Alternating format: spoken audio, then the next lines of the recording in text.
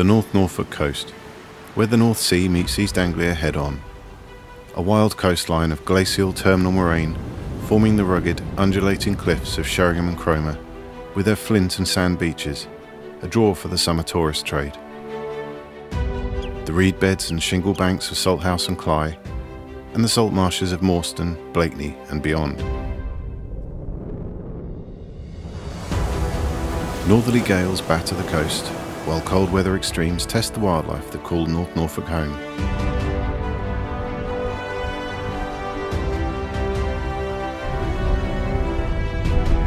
From the winter migrants like the pink-footed geese to the year-round residents, winter is a tough time where only the fittest survive.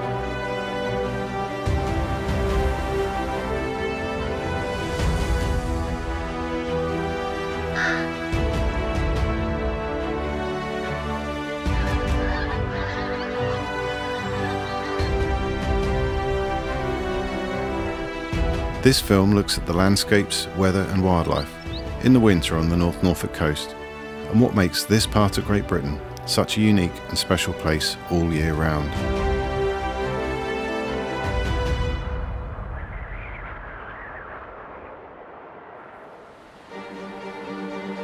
Over 700 years ago, the area known as Cromer was actually inland with a medieval settlement called Shipden being on the coast to the north. It's said that the church is still out there submerged in the water just offshore.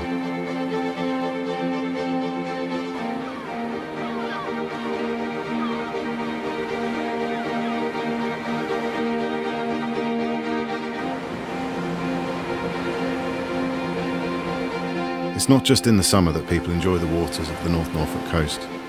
Mother and daughter, Mary and Helen, like a handful of other locals, swim in the sea at Sheringham throughout the year with many swearing by the health benefits. I'll take their word for it. Ten miles to the west of Sheringham is Morston and the salt marshes which extend out to Blakeney Pit, a natural harbour sheltered behind the beautiful shingle spit of Blakeney Point.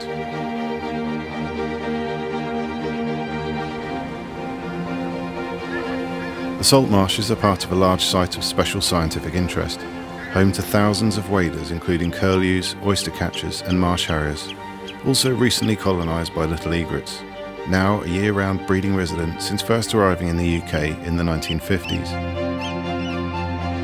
Heading back east is the village of Cley next the sea, with its extensive reed beds and home to the charismatic bearded tit, although it clearly has a moustache, not a beard.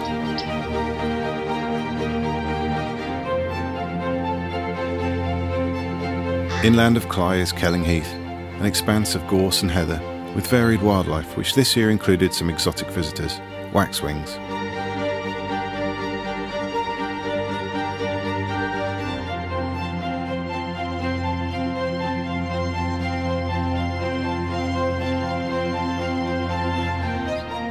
North Norfolk has a surprising diversity of wildlife if you learn how to look for it and head into the great outdoors. Whatever the weather, whatever the season, North Norfolk rewards the adventurous.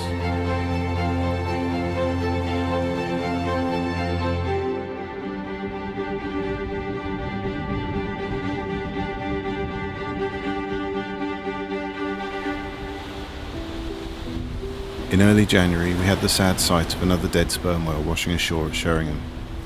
Similar to the whale washed up at Weybourne late last year, another sub-adult male, possibly both part of a pod of 10 whales, stranded on the Yorkshire coast a few weeks back. It's thought the whales had been following the squid down from Norway and had become lost in the shallower North Sea, a tragic loss for this vulnerable species. Each autumn sees the arrival of tens of thousands of pink-footed geese, the noisy skeins flying overhead providing an essential soundtrack to the North Norfolk winter.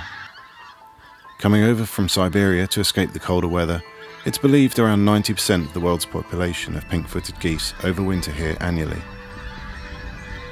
Local farmers leave the beet tops on the surface of the fields rather than plough them in. This provides the geese with a rich food source and keeps them from destroying the winter barley crops.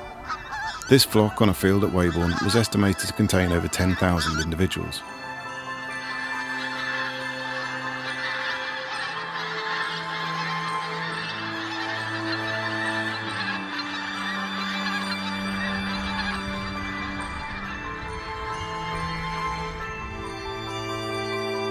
Just down the road at the old site of RAF Weybourne, 40 acres of previously farmed fields are to be turned over to nature and sowed with wildflower seed in this privately managed nature reserve.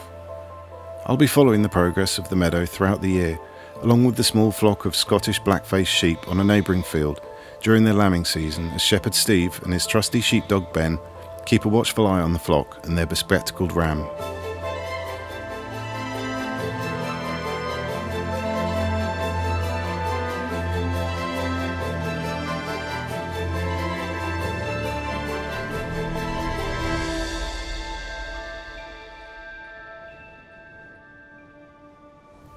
Having had little snow in previous years, we had a double helping this winter with a cold snap in mid January, just a taste of what was to come in February. With the coast transformed overnight into a winter wonderland, it was a great opportunity to brave the weather and capture the cliffs looking more Siberia than Anglia.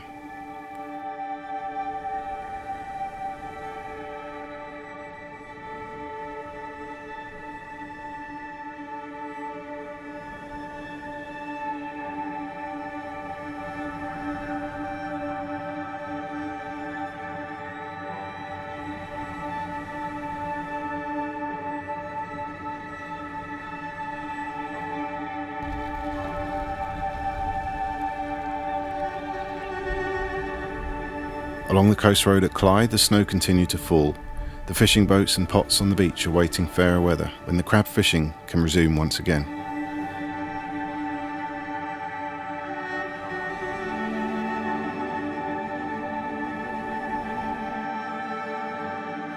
Inland at Felbrigg Hall, the snow and frost created beautiful winter scenes with the wildlife battling to survive the cold conditions. The National Trust policy of leaving fallen trees to rot naturally provides interesting skeletal forms as they gradually return to the earth.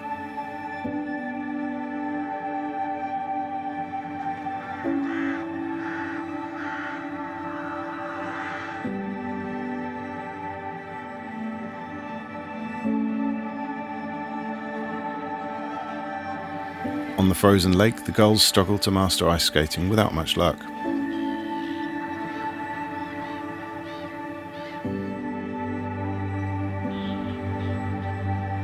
While over at Bayfield Hall the calls from a small flock of pink-footed geese echoed through the valley, their breaths steaming into the cold morning air.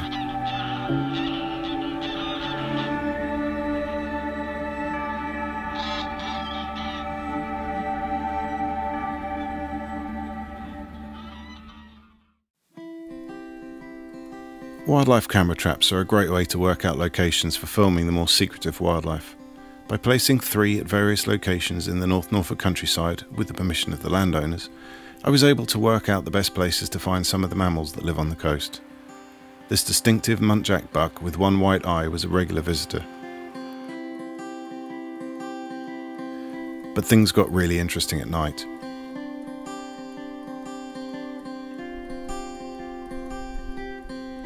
This roebuck still showing the velvet on his antlers, lost later in the year ready for rutting.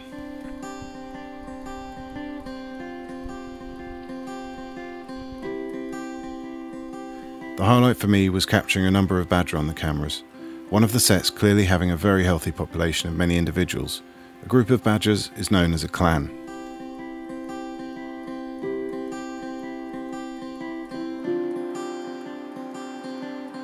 I positioned one camera just outside the entrance of a sett occupied by a big male, known as a boar. Like pigs, the females are known as sows. Although the resident didn't seem impressed and showed his disdain by showering the camera with dirt. But it got even better when I realised one of the badgers was a rare erythritic badger. Lacking much of the black pigmentation, these badgers have pale blonde fur where the black should be. I'm hoping to film some of this badger clan on the proper camera in the summer and maybe even get another noisy fight.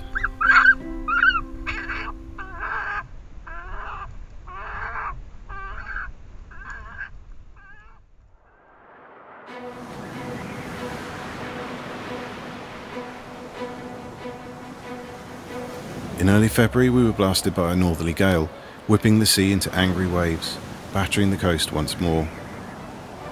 With nothing but water between the North Norfolk coast and Greenland to the north, the wind has thousands of miles in which to generate the waves over the water's surface, an area known as fetch.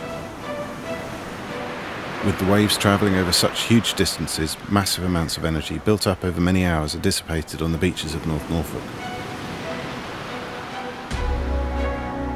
If the tides are high enough, the waves can reach the cliffs or breach the shingle banks, resulting in this constantly changing coastline where nothing is ever set in stone.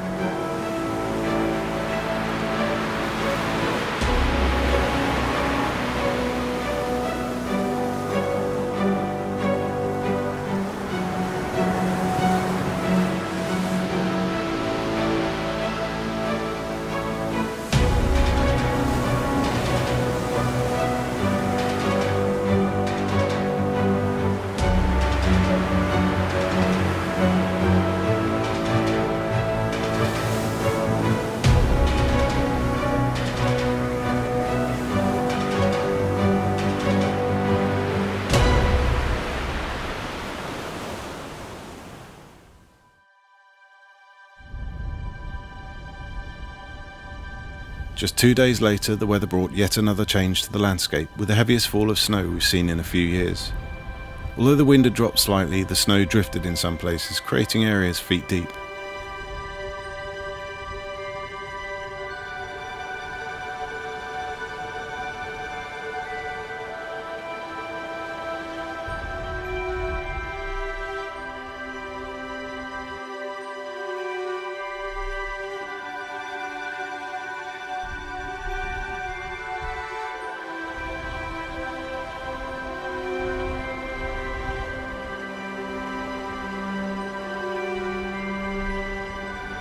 As the snow flurries came and went, the snow deepened and settled, with the Cromer seafront and church taking on the appearance of a Christmas card.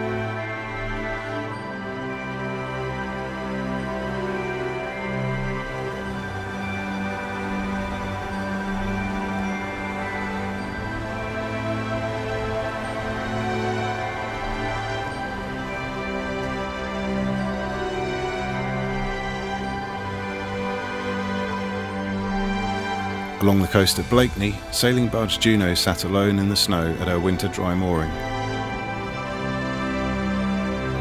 While the coiling creeks and gullies on the salt marsh became more defined than usual.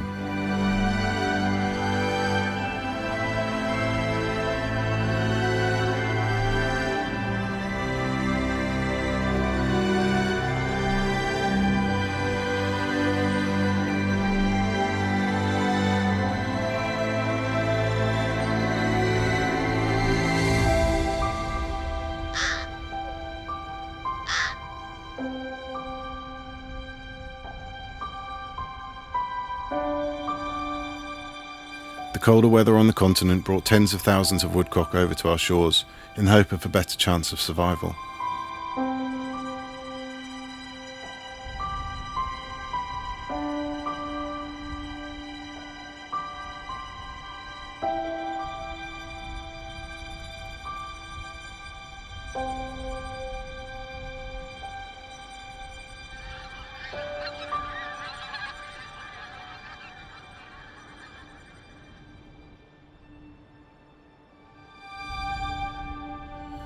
While the snow lasted, I took the long walk out to Blakeney Point. I didn't see another person out there all day, and judging by the single set of footprints on the beach on my way home, I was the only person to walk the nine miles there and back that day.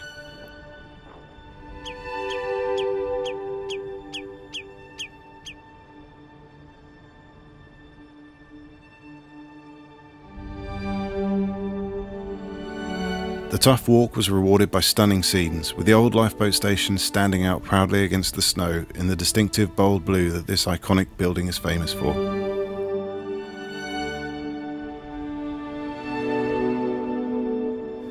Only weeks previous, I'd been on the point with thousands of grey seals, but this time I was lucky to find just one lone seal sheltering from the breeze. As the sun came out, the waves continued to crash upon the shore, the white foam catching the light in the otherwise murky water.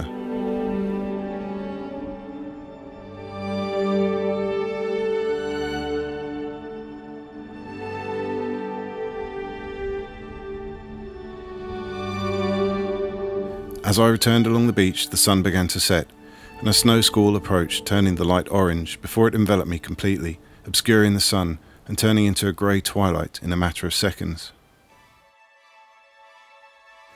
As February progressed, the weather started to warm, and nature showed signs that spring was just around the corner.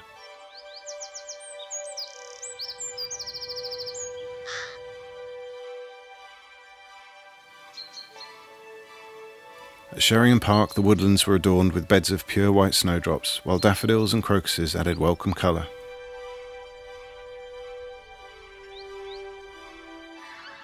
The pink footed geese became restless for their long journey back to Siberia, taking the last opportunity to find energy for the migration.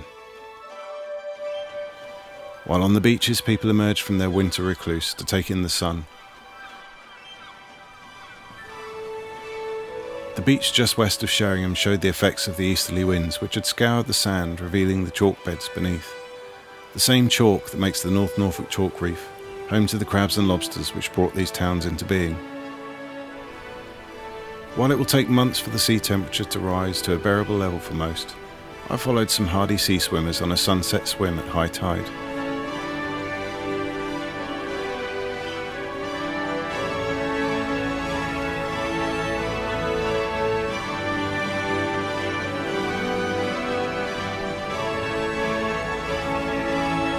With the sun setting to the west and a full moon rising to the east, it was a magical time to be out on the water, with the promise of great days ahead. It's been a long winter, probably the toughest many of us have known, but there is light at the end of the tunnel, and in my next film, I'll be following spring as the days get longer and life becomes easier.